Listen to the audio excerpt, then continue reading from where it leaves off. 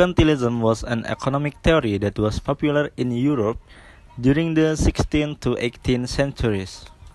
At its core, it was a system designed to enhance the wealth and power of nations by promoting export and discouraging import. The idea was simple. A country sold export more than it imported in order to accumulate wealth and become powerful. During this period, Europe was undergoing significant change. The discovery of new trade routes and the colonization of new territories led to increased economic competition among European nations. As a result, countries began to implement economic policies that would give them an advantage over their rival. One of the most important components of mercantilism was the belief that a nation's wealth was measured by its gold and silver reserve. Therefore, mercantilist policies aim to increase a country's exports and thus its gold and silver reserve. This was done by placing tariffs on imports, giving subsidies to exporters, and even engaging in piracy and warfare to acquire colonies and resources. Another important aspect on mercantilism was the belief in a favorable balance of trade. This meant that a country should export more goods than it imported, that it would have a surplus of funds to invest in its economy to achieve this. Countries often set up trading monopolies and restricted imports, which limited competition and protected domestic industry. In addition, mercantilism emphasized the importance of manufacturing and industry.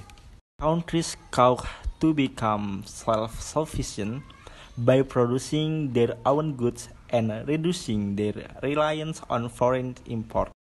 They did this by providing incentives for domestic production and enacting protectionist policies that hindered foreign competition.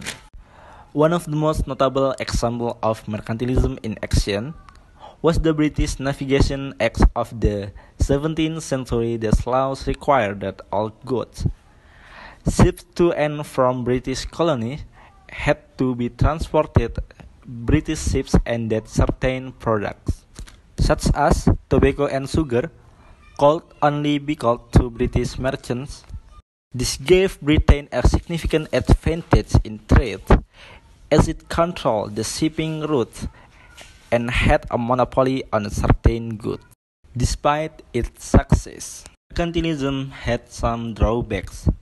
One of the main criticisms was that it focused too heavily on accumulating gold and silver rather than developing industry and investing in infrastructure. This made it difficult for countries to modernize and compete with more developed economy.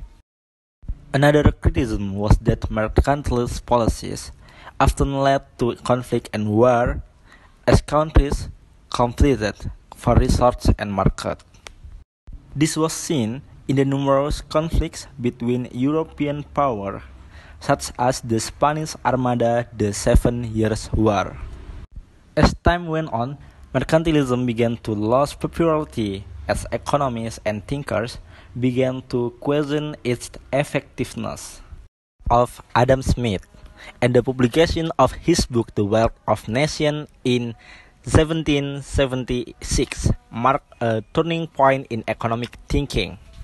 Smith argued that free trade rather than protectionism and mercantilism was the key to economic growth and prosperity. Despite its flaws, mercantilism played a significant role in shaping the economy of Europe. During the 16th to 18th centuries, its focus on export, manufacturing, and industry laid the foundation for the modern capitalist system. Many of economic policies and practices that were developed during this time such as tariff and subsidies are still used today. Mercantilism was a complex and controversial economic theory that had a profound impact on the world. Its legacy can still be seen in the way the nation approaches trade and commerce today. However, Its flaws and limitations serve as cautionary tale for those who would seek to promote protectionism and nationalism in the modern era.